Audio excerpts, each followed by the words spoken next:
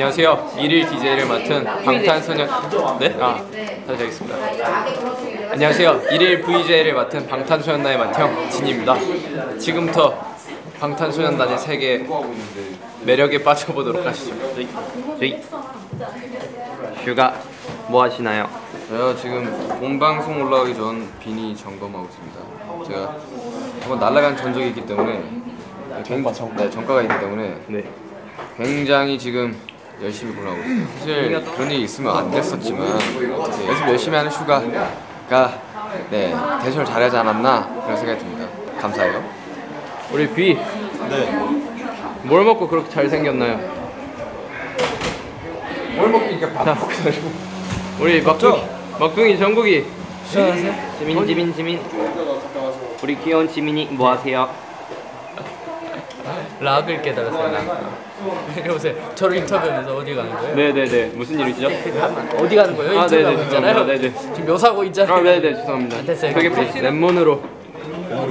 랩몬스터. 아 잘생겼습니다. 굉장히 남자답게 생기고 멋있는데요. 저만큼 잘생기진 않았어요 근데. 네, 뭐 네, 인터뷰 그만하고 싶네요. 죄송합니다. 네, 잔디 깎는답니다. 네, 열심히 깎아주시고요.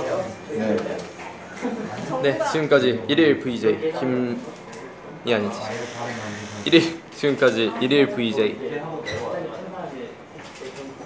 진이었습니다. 어떻게 나를 빼먹을 수가 있어요? 어 잠시만요. 어떻게 나를 빼먹을 수 있어요? 기다려 보세요. 나 구석지에서 계속 매, 멘트 정리하면서 기다리고 있었는데 네, 아, 네, 죄송합니다. 네. 어, 우리 제이홉 군. 네. 무슨 일이시죠?